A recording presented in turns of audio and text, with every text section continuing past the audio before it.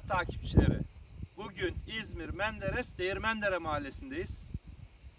Bu kez videomuzda, tanıtımımızda farklılık yapacağım.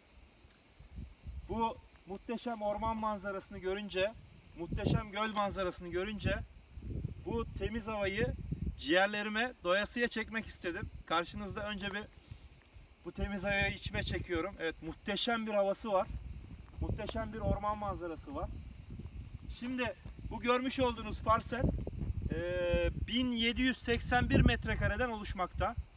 Bu 1781 metrekareden oluşmakta olan tarlamız tek tapudan oluşmakta. Tek tapu olan parselimizin hemen yanında orman manzarası, hemen bitişiğinde göl manzarası mevcut. Eee, komple cephesi yol cephesi var. Bu da çok büyük bir avantaj. Hemen parselimizin arkasında ağacı görüyorsunuz. Parselimiz o küçük ağacın hemen arkasından 3 adım arkasından başlıyor. Tellerle çevrili olan yer komple parselimizin boyutu. Yine tekrar hatırlatıyorum. Ee, 1981 metrekareden oluşmakta. Hemen gölü de çekelim. Buyurun. Hasan Bey.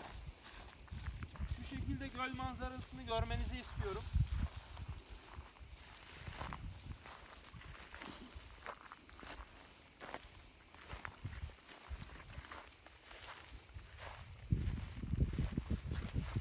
Masmavi bu yemyeşil ormanın içinde masmavi sularıyla birlikte gözükmekte olan göl bu parselimizin muhteşem manzarasını oluşturmakta.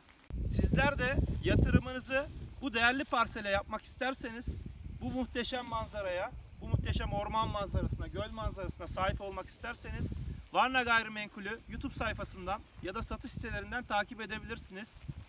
Ee, Varna Gayrimenkul iyi günler dilekleriyle esen kalın efendim. Hoşçakalın.